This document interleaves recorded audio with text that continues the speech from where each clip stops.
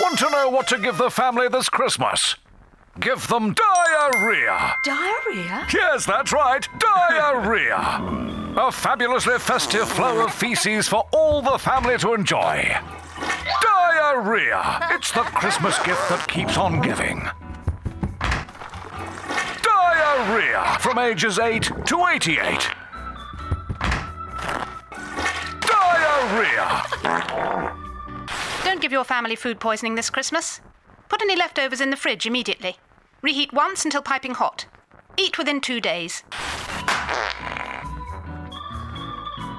Toilet tissue sold separately. Brought to you by your friends at the Food Standards Agency.